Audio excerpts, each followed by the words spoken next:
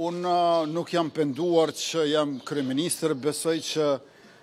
njësoj e kanë ndjenjën të gjithë kolegët e mi nga qeveria edhe shumica në kuvendin e Republikës e padyshim edhe shumica dërrmuese e qytetarëve të Kosovës.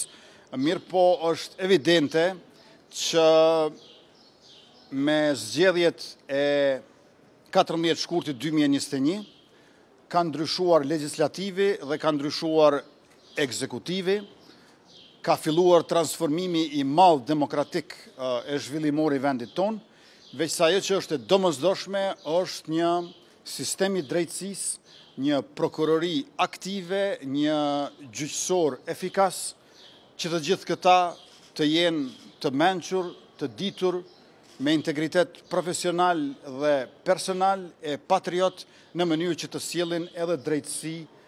për qytetarët e Republikës së Kosovës, e kur them drejtësi, mendoj edhe për viktimat e luftës për shkak të agresionit dhe gjenocidit të Serbisë, por mendoj edhe për viktimat e korrupsionit e të krimit të organizuar në periudhën e paqes.